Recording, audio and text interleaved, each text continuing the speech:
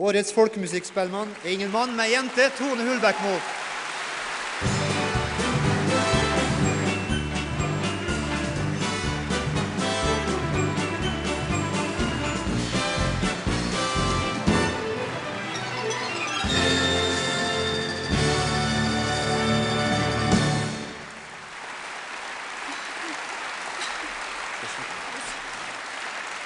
Ja, vi har fått lov på et pressa tidsskjema å si noen ord frampå her. Og når det gjelder harpe, så er det ingen som fortjener den bedre enn du. For du har eh, dratt fram ei ekte norsk harpe, du. Så ikke ja. munnharpe. Nei, Hun er nok eh, litt større. Jeg hadde ikke fått plass til den inni munnen min. Nei, hva slags harpe er det?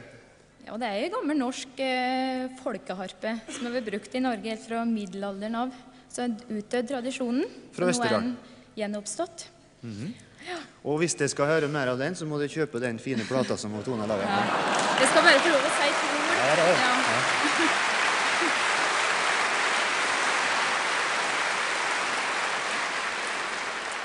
Jeg har bare lyst til å få nevne i hvert fall to andre som jeg har med meg på plata. Jeg syns jeg må dele æra med noen flere. og Det er en Hans Fredrik Jacobsen og Arild Plassen.